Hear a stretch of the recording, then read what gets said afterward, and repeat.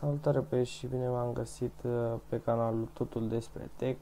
Astăzi o să vă arăt un PC de calitate la un preț mic, adică un preț de buget, PC de buget. Astăzi intrăm și pe EMAG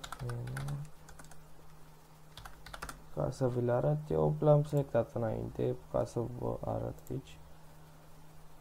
Uh, până să începem cu calculatorul. Primul calculator este acesta un sistem desktop gaming cu procesor Intel-Core i5 de generația 3 3470 până la 3.6 GHz, 8 GB de RAM de 3.3, SSD de 220 GB și GeForce GT, GT 710 de 2 GB de GDDR5. Uh, prețul este de 1200-1195 lei.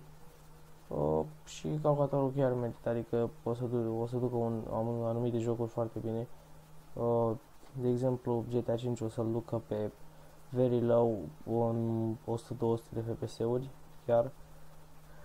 După părerea mea, uh, chiar 150, cam pe acolo o să stea, adică o să vă primați prin oraș undeva la 80-100 o să le aveți și toate jocurile o să le ducă foarte bine, vă dați seama că nu jocurile care o să iasă încolo o să le ducă așa de bine, dar pentru unele jocuri o să le ducă bine, gen Minecraft, GTA 5, va da vesel.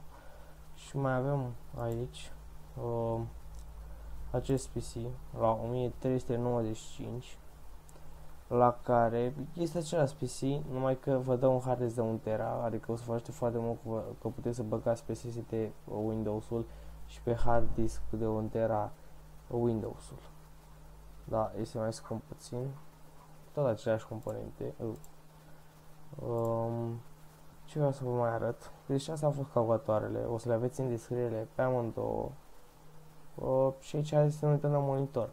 Monitorul vă dați seama că nu, nu poate să fie oricare deoarece trebuie să aibă HDMI și cel mai ieftin monitor, adică nu facem un PC de buget, e acesta uh, de uh, 290 de lei un de la LG cu diagonală de 19 uh, inch 1366 pe 768 e o rezoluție ok pentru monitor.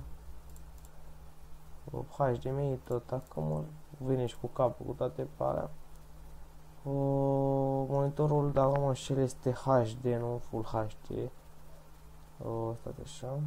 Specificația mai jos aici 15 W, nu consumă mult, white, deci cum vedeți. Da, eu zic că merită pe acest PC.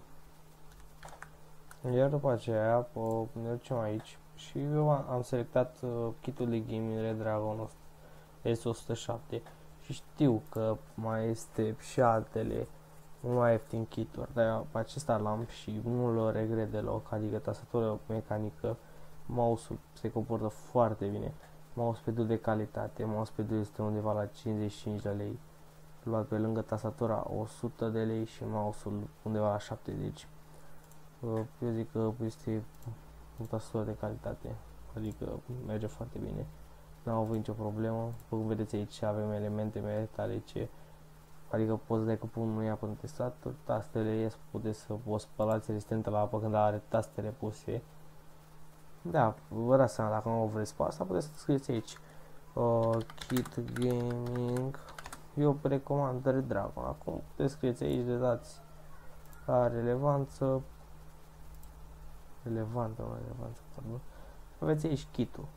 După cum vedeți, la aveți aici kit tastatură mouse, ăsta la 52 de lei. Dar nu o să vă garantez că o să vă țină mult, mai ales dacă aveți nervi și cu pumnul, ele o să facă praf. Uh, acest kit l-a avut un prieten al meu, bun, semi-mecanic, deci și pe ăsta ar fi o recomandare. O să vi le pe toate în descriere, o să-și salvez aici. Ăsta l-am avut eu, primul meu kit și acum mai merge la tastatura. Nu este așa de ăsta de bunicic, adică dacă ai dat un pum, sunt șanse să scrape tastele, dar nu, nu, nu-i bai, nu, nu prea crap așa din prima mouse-ul foarte bun, căștile foarte bune sau foarte mouse pe tot la fel bune. O să vi le las pe toate. Uh, ce am vrut să vă mai arăt aici? Uh, costul dacă am calculat Um, calcul. Să vă, calcule, să vă calculez și prețurile. Vedeți ca, care ar fi. Deci dacă am pune pe ăsta fără hard disk, adică uh, 195 plus uh, 190 uh, plus uh, Haide să-l punem pe ăsta la 90 de lei. Că am zis că îl facem de buget. Adică cineva care vrea cel mai mic, cel mai mici prețuri, ar da uh, în total 1575 de lei. De fapt, ba nu, what? Ar da 3150 de lei. Bă, ceva nu e... A, am pus ceva aici greșit, stai, mă scuzați, chiar nu am văzut.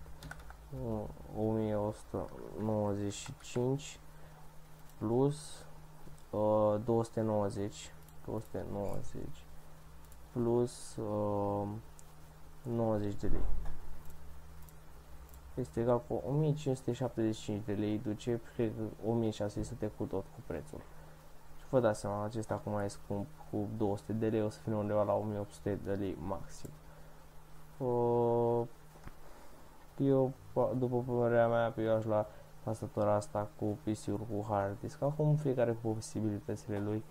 Așa că sper că v-am fost de folos, eu am fost totul despre tech, așa că noi ne vedem în video următor.